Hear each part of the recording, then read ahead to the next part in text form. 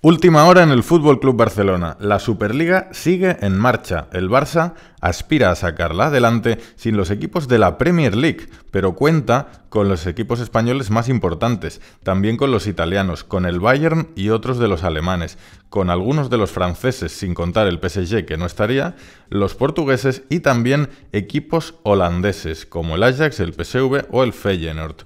Con todos estos equipos es con los que se quiere de momento empezar la primera tanda de Superliga y creen, eh, al menos en el Barça están convencidos, de que la Premier eh, se acabará uniendo tarde o temprano. Pero antes, de momento, toca esperar a la resolución de Luxemburgo, del Tribunal de Justicia eh, de la Unión Europea, cuya resolución está prevista para marzo de 2020. 23. Ahí se sabrá si realmente se puede llevar a cabo el proyecto, si se puede, si tienen derecho los clubes de montar esta competición y si la UEFA y la FIFA les pueden acabar sancionando tanto a los clubes expulsándolos de sus competiciones como a los futbolistas. Otro tema importante en la actualidad del Barça es el tema del fair play. La liga ya ha informado al Barça de cuál es su límite salarial de cara al mercado de invierno y actualmente está en menos 35 millones de euros. Principalmente esto se debe a la eliminación prematura del equipo en la Champions. Además, eh, hay que tener en cuenta que Piqué, que se ha retirado ya del equipo, solamente ha liberado 5 millones de euros y se prevé un recorte de 8 millones en las secciones para poco a poco ir eh, equilibrando este desfase salarial. A nivel de salidas, que es la otra clave para poder cuadrar los números, el nombre clave es Sergio Busquets. Eh, desde el club están persiguiendo a su agente y al jugador para que les comunique su futuro cuanto antes.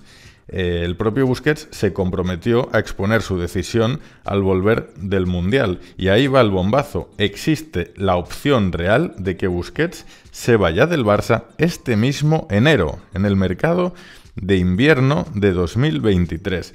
Es una opción que no es la más probable, pero está sobre la mesa, ya que en caso de marcharse ahora, liberaría eh, una buena parte de su salario que podría ayudar a cuadrar ese desfase del límite salarial y a inscribir algún otro futbolista para el centro del campo.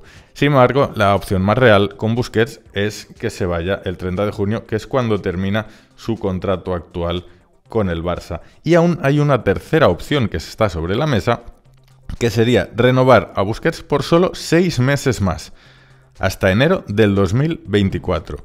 ¿Y por qué cobra tanta importancia el mes de enero en el caso Busquets? Pues porque su futuro próximo en principio será la MLS de los Estados Unidos, cuyas competiciones empiezan eh, a finales de enero, principios de febrero. Con lo cual, eh, si Busquets deja el Barça en esas fechas, empezaría una temporada completa con su nuevo equipo y no llegaría a mitad de temporada. Otro nombre propio clave eh, en el mercado de Barça es el de Frenkie de Jong. En este sentido, el club se muestra taxativo, es intransferible. La moneda eh, ha cambiado, ha girado con respecto al mercado de verano pasado, donde sí que llegó a estar en el mercado. Ahora, eh, desde el club tienen claro que si se va a Busquets, no pueden perder también a Frenkie, que es uno de los mejores jugadores del mundo en su posición, y hay que conseguir eh, retenerlo. Tanto el presidente está encantado con él, como el entrenador Xavi Hernández. Y incluso parece poco probable que le vayan a pedir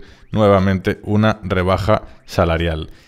A nivel de recambios, eh, para el supuesto de que se vaya Busquets, parece ser que el, el, preferido del presidente sigue siendo Rubén Neves. Una opción que en cambio no acaba de agradar a Xavi Hernández. Pero, ¿cuál es el motivo? Pues que este jugador está representado por Jorge Méndez, que es uno de los agentes con los que tiene mejor relación Laporta y que además lleva a varios de los jóvenes cracks del club. Entonces, un poco eh, la operación consistiría en hacerle el favor a Méndez de fichar a Rubén Neves para reforzar el centro del campo culé, a cambio de que Méndez también pues sea más flexible y ayude a la gestión eh, con los jugadores jóvenes del Barça, por ejemplo en el caso de Alejandro Valde, que tiene que renovar su contrato próximamente y en el Barça obviamente pues no, no quieren perder a este joven talento. Principalmente estos son los nombres que hay ahora sobre la mesa y las grandes novedades a nivel institucional y deportivo en la radiante actualidad del Barça, que recordamos que se retoma dentro de muy poco, el 31 de diciembre, a las 2 del mediodía, contra el español en el derby barcelonés.